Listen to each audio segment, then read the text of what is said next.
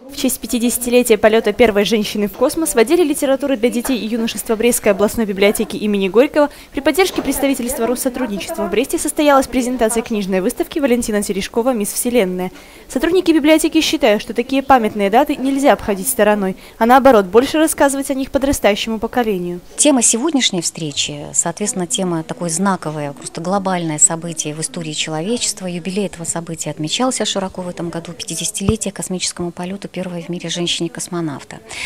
Но почему встреча не рядовая? Потому что в областной библиотеке вот появились, как вы знаете, новые интересные очень партнеры, инициативные. В общем-то, они иници инициировали вот эту новую тему в нашей мастерской знаний. На какой-то момент она стала просто мисс Вселенная. Еще каких-то полвека назад общественные организации всего мира считали за честь пригласить к себе первую женщину-космонавта.